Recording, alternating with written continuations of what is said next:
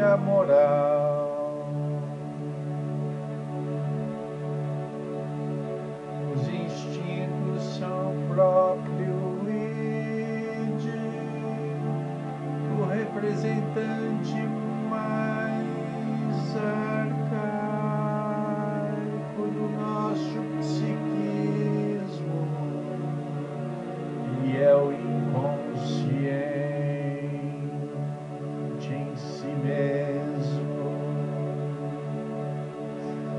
ego é o representante construído com o desenvolvimento e o crescimento da criança.